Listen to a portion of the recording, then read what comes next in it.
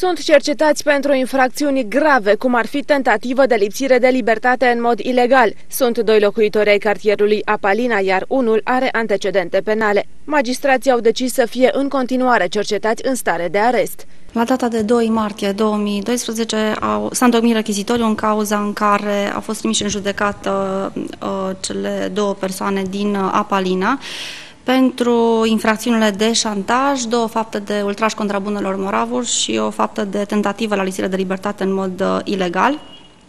Unul dintre inculpați a comis cele trei infracțiuni în stare de recidivă postcondamnatorie.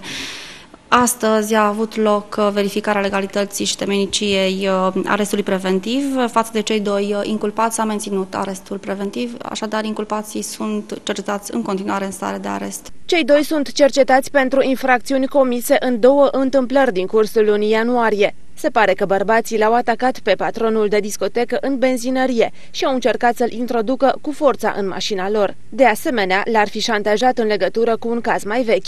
Într-o altă zi, cei doi apalineni ar fi fost implicați într-o șicană în trafic împreună cu reprezentanții unei firme de pază și protecție.